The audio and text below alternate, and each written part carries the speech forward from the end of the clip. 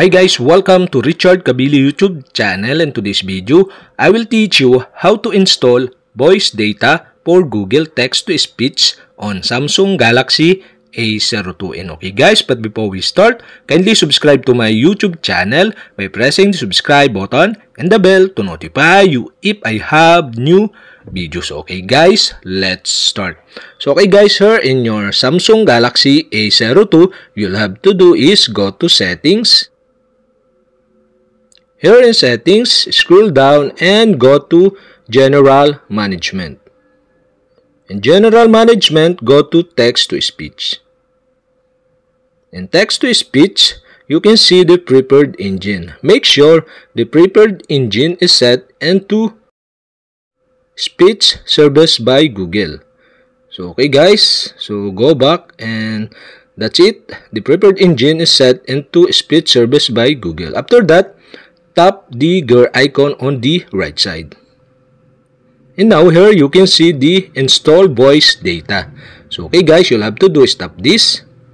And you can see the option of voice data per country. So okay guys, you can scroll down for more And okay guys, for my example, I select the English Australia.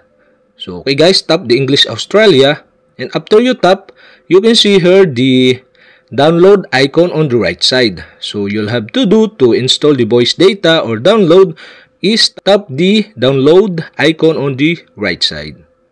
And okay guys, now downloading the English Australia voice data. And okay guys, now we have successfully download the English Australia voice data. And you can see here the voice 1, voice 2, voice 3, voice 4, and voice 5. So I select the voice 3. And okay guys, so after you select the voice you want to set in your Samsung Galaxy A02 Google Text-to-Speech is go back And you can see here the English Australia.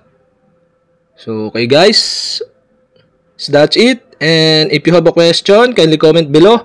And don't forget to hit the subscribe button and the bell to notify you if I have new videos. So, okay guys, thank you for watching.